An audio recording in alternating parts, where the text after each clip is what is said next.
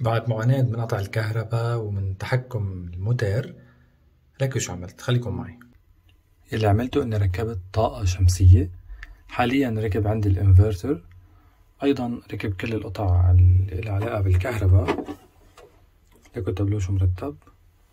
في شي فوق يعني في شي حماية للصواعق لل panels لل charge بطارية طبعا ولا الكهرباء بشكل عام.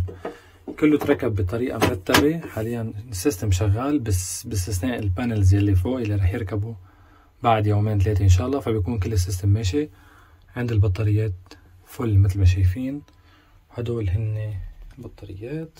هيك بيكون حلينا جزء كبير من المشكلة يلي كانت تواجهني لحتى أصور حلقات على اليوتيوب أيضا على التيك توك.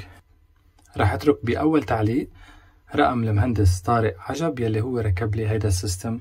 المرتب كلياته